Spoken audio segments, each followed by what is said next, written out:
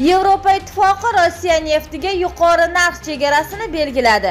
Yevropa ittifoqi Rossiyadan keladigan neft narxiga maksimal cheklov joriy etish qarorini e'lon qildi. Bu haqda Yevropa ittifoqining rasmiy jurnalida keltirilgan. Tankerlarga savdo yoki tashish bilan bog'liq texnik yordam, texnik xizmat ko'rsatish, moliyaviy xizmatlar ko'rsatish, shu jumladan kemalar o'rtasida uchinchi mamlakatlarga Yevropa ittifoqiga a'zo bo'lmagan mamlakatlarga xom neft yoki neft mahsulotlarini yetkazib berish taqiqlanadi deyiladi hujjatda.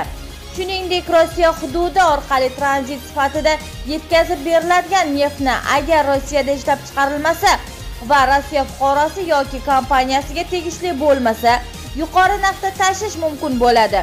Hujjatda bir barrel neft narxi 60 dollar deb ko'rsatilgan.